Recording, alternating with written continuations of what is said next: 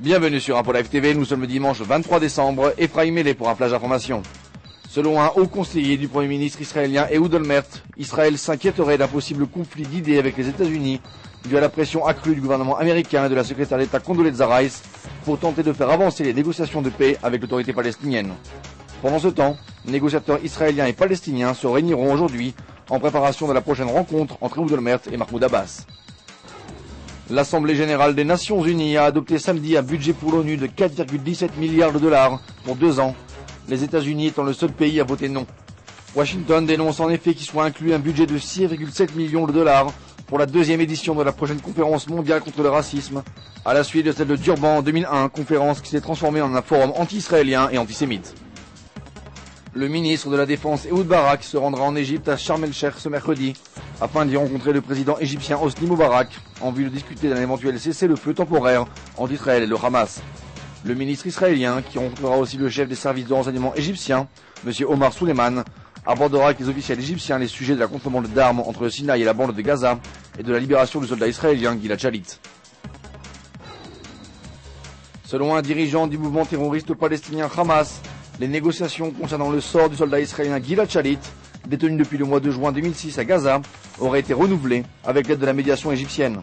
L'organisation terroriste serait dit prête à revoir à la baisse le nombre de prisonniers qu'elle demande à Israël de libérer afin de permettre la libération de Gilad Shalit. Le Hamas exigeait jusqu'à présent la libération de 1400 prisonniers palestiniens en Israël. Le ministre du Logement et de la Construction, ZF Bohim, a rencontré ce vendredi les exploitants terriens du sud d'Israël et a affirmé qu'il avait l'intention de proposer un plan visant à demander la distribution gratuite de terrains à usage résidentiel dans les zones situées en bordure de la bande de Gaza, ainsi que dans un rayon de 7 km du côté israélien de la ligne verte. Le ministre Zev Bohim présentera son plan lors de la prochaine réunion de l'autorité foncière israélienne le 31 décembre prochain. Merci de nous avoir suivis sur InfoLive TV. Bonne journée à tous.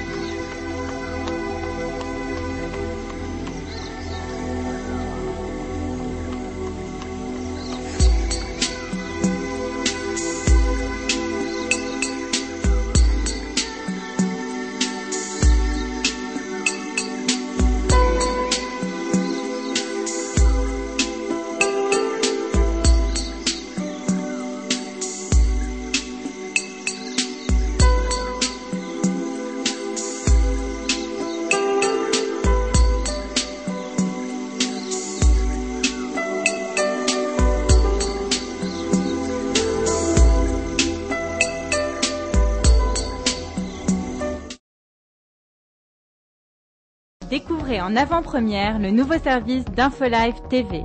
Recevez gratuitement chaque jour, en vidéo, les informations d'Israël et du Proche-Orient sur votre mobile. Pour vous abonner, entrez sur notre site www.infolive.tv et cliquez sur la bannière Service téléphone mobile. Aujourd'hui, le monde entier parle d'Israël. Mais qui parle d'Israël au monde entier, en temps réel, en quatre langues et en direct de Jérusalem Infolive.tv, la première chaîne de télévision internationale israélienne. 24 heures sur 24, 7 jours sur 7, suivez de l'intérieur l'actualité d'Israël et du Moyen-Orient. Des reportages, des interviews, un grand journal et des flash infos en images dès que l'actualité l'exige. Infolive.tv, votre regard direct et vrai sur l'actualité d'Israël. Retrouvez InfoLive sur internet www.infolive.tv.